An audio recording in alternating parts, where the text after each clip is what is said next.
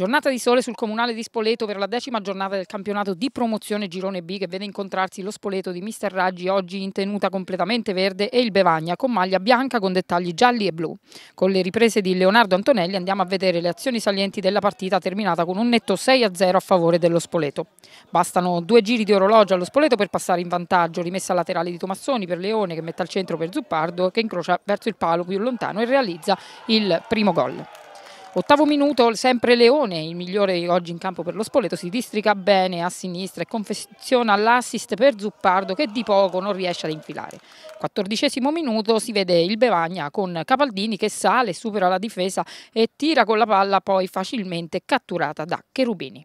Ventitreesimo, altra occasione per il Bevagna con Capaldini il cui diagonale dalla sinistra sfila al lato. Al venticinquesimo minuto arriva il secondo gol dello Spoleto, propizia tutto Tomassoni, in area si distica bene, Cola eh, rimpalla e Leone realizza la rete del 2-0. Al 45esimo arriva anche il terzo gol per lo Spoleto, un errato disimpegno difensivo di Locci propizia l'azione di Leone che si lancia a rete e realizza il gol del 3-0. Si chiude così il primo tempo.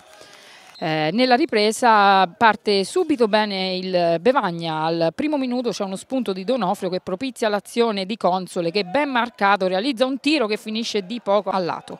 Dopo questa azione iniziale lo Spoleto inizia a dilagare e se al secondo minuto il gol di Cola viene segnalato in evidente posizione di fuorigioco eh, è proprio il puntero spoletino a non arrendersi. Già al decimo Cola punta a mettere il sigillo di giornata e si districa in mezzo a un nugolo di avversari e scalda i guanti a Catarinelli. Stessa faccenda dopo due minuti al dodicesimo del secondo tempo sempre Cola propizia l'azione offensiva dello Spoleto, mette in mezzo all'area per la rovesciata di Tomassoni che non ferisce finisce, ma è al tredicesimo che arriva il gol del 4-0. Cola aveva deciso di segnare un minuto, eh, in un minuto dal limite destro dell'area beffa il difensore e mostra tutta la sua maestria realizzando il gol del 4-0. Al trentesimo minuto c'è un gran tiro di Tomassoni che arriva vicinissimo al gol, un minuto dopo sempre Tomassoni eh, dal vertice destro dell'area tira e manda di un niente al lato.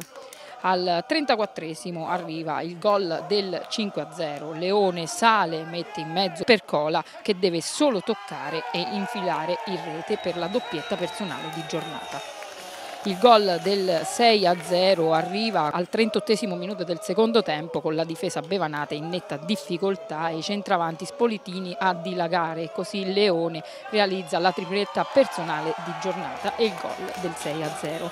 Non mancano anche nel finale altre occasioni, in particolare al 43 con Cola che si riavvicina e manda di un pochissimo fuori e al 44 con un diagonale che colpisce il palo. Al di fuori del 6-0 che mi interessa poco a me perché noi facciamo un altro campionato.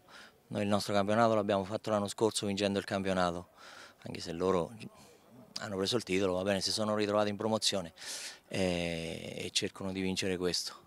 E ce l'hanno tutte le carte in regola, però noi non è un problema, io sono orgoglioso dei ragazzi perché ci hanno messo tutto, e i sei gol sono tanti, anche se ci hanno avuto altre occasioni. Però l'importante è che ho visto i ragazzi che hanno dato il massimo, chi ha giocato ha dato il massimo.